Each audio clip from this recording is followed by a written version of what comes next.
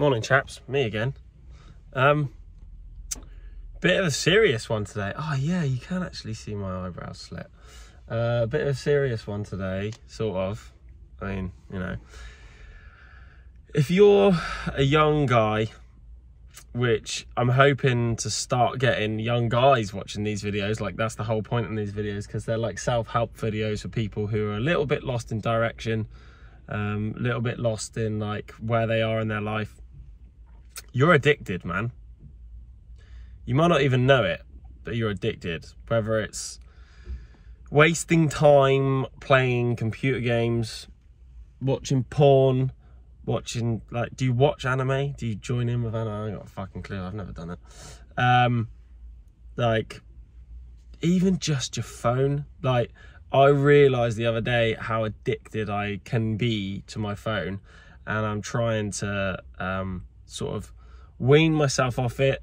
Cold turkey, like celebrating days of being off your phone or not watching porn or like not playing computer games or whatever, celebrating like that days and then relapse and then go, oh, fuck it, what's the point? Like, that's not the way to do it. You need to just live your life as if a person who doesn't drink or smoke or watch porn or whatever, what would they do? And then you might get three weeks, three months, a month, six months, a year in, and you might relapse. Have you, have you like made progress? Hell yeah.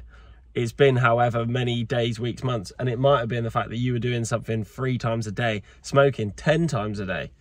Um, so, like, changing your habits slowly over time.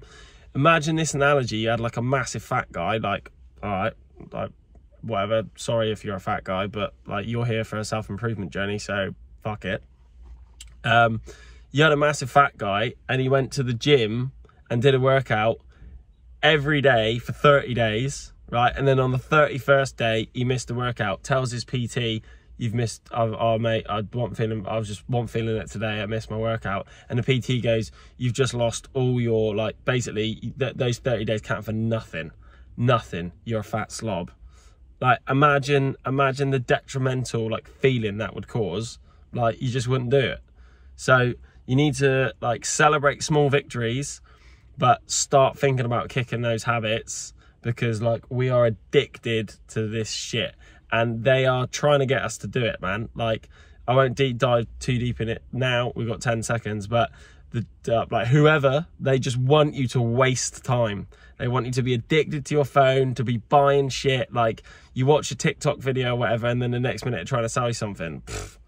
like they're trying to keep you poor and bored it's mental um yeah, back in the normal world though. Have a good day. Try and do something better that you didn't do yesterday. Love you all.